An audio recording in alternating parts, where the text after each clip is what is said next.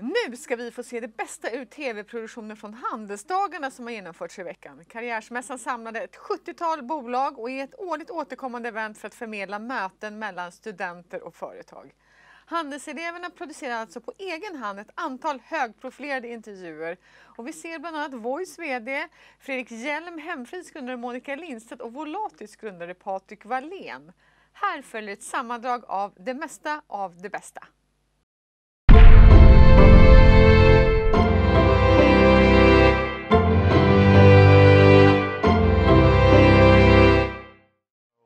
Uh, with the coronavirus, it's a little bit harder. I don't have that many people that are, you know, experts, experts in coronavirus. Yeah, I can imagine. But, but you know, I, you know, I've been, you know, the SARS was my first virus, and okay, you know, the bird yeah. flu. You know, so Yeah. it- you know, these things come and go. The volatility does spike. This afternoon we have WHO meeting at 1:30. Uh, should be a significant market event in general, we'll look past on this, back on this time.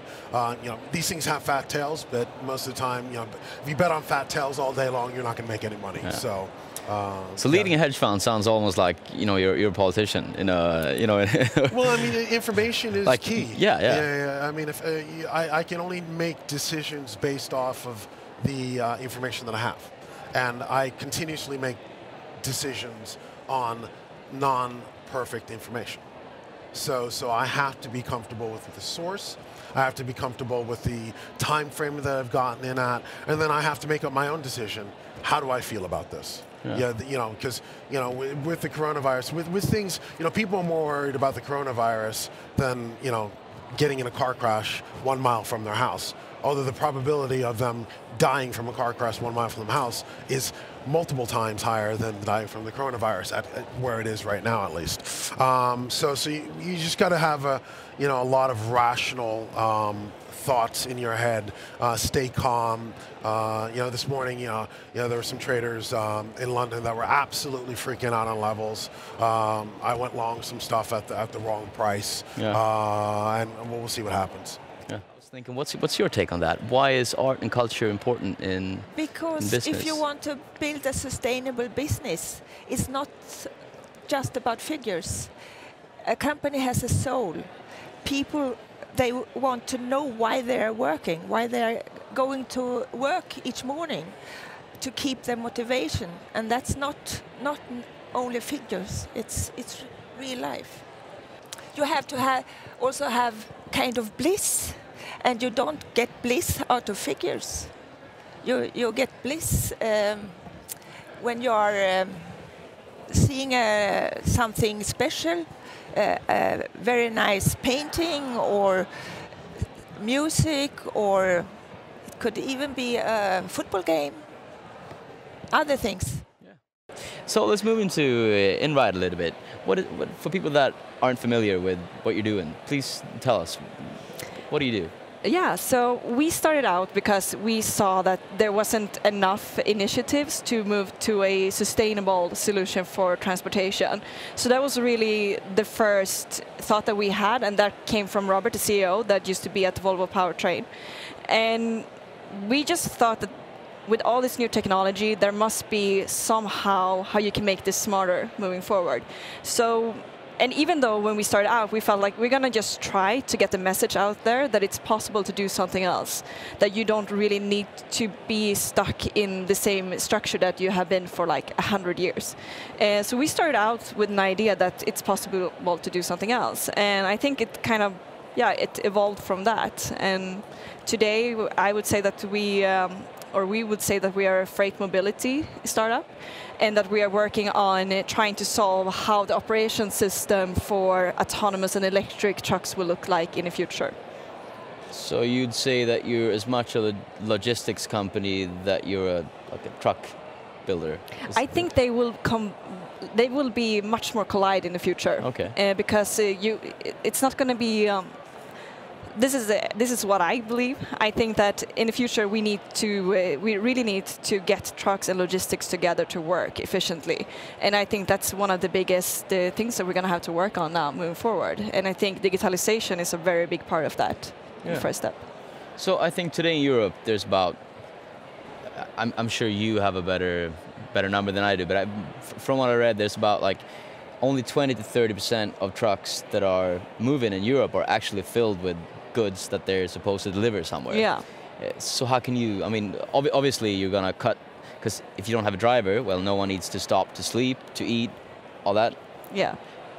But in what what other ways can you make that more efficient? How can you help to make that number better?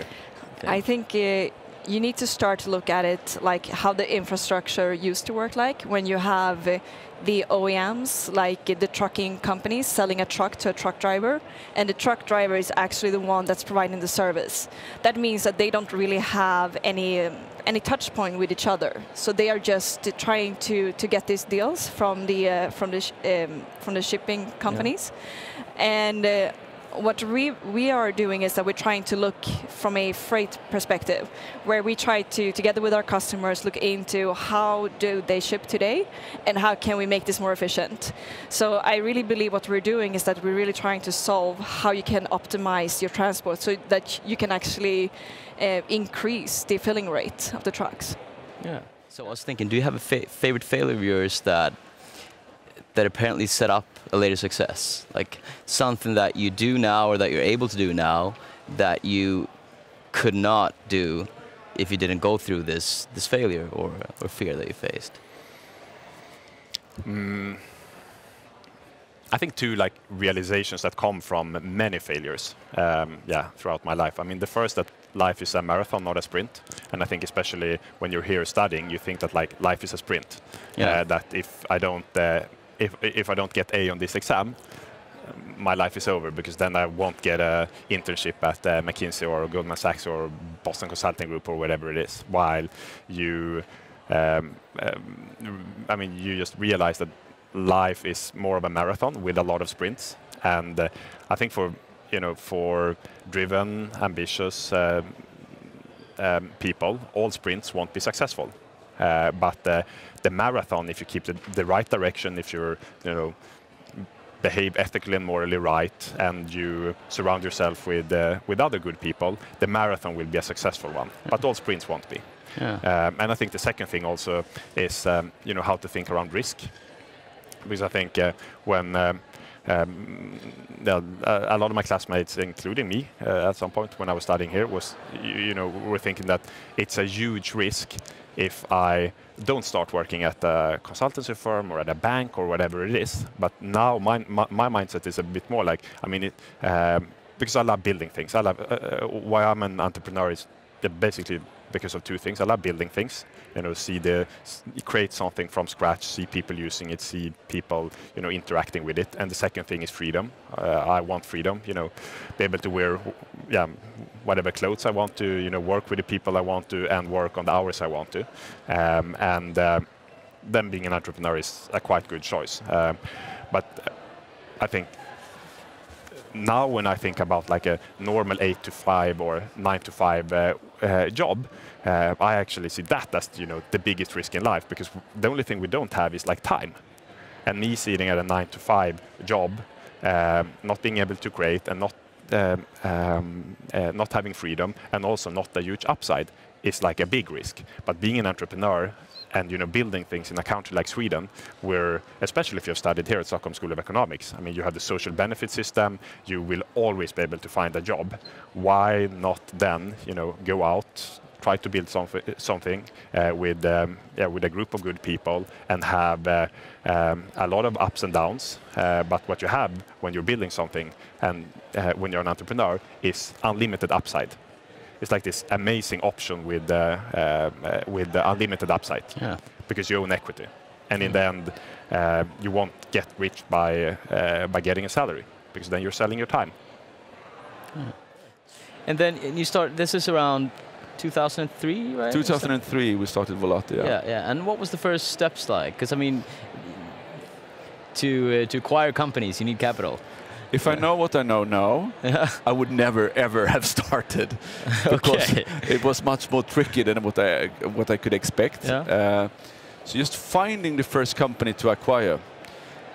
You should remember, Karl and I was like 33, 34. We have no experience really about doing this, and no sort of. So everyone we met was very skeptic.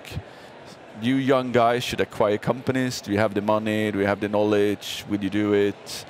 Um, so it was hard to just find something to acquire.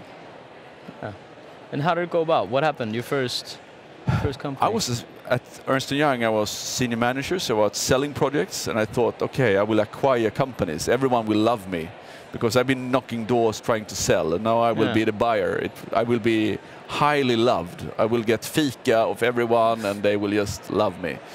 But they didn't. So I, I wrote a hundred emails trying to get meetings with uh, corporate uh, firms, to advisors, just trying to get meetings and had quite a lot of meetings. And uh, after like half a year, I was thinking we will not succeed. But then I got a happy, lucky break, and we met with PricewaterhouseCoopers, and they had Tornum to sale, and we, we managed to uh, convince the owners that we would be a very good new owner of the of Tornum. Okay. So, so how do you kind of stay? You said just before the cameras went on, yeah, you, you have a problem with focusing, but you're also in like a ma macro way very focused. like, how do you um, how do you make sure that you spend your time wisely if you have so many things going on at the same time? I uh, actually need to remind myself. Think, people think that I'm smart, but I'm the stupidest person I know. It takes me a long time to learn something, and once I've learned it, I forget it very quickly. So that's why I need my own notes to self in the form of tattoos. So one of those reminders are a arrow pointing downwards, reminding myself not to say yes to things that would look good on paper or in my resume or that I find myself thinking that I ought to do this, though I don't really want to.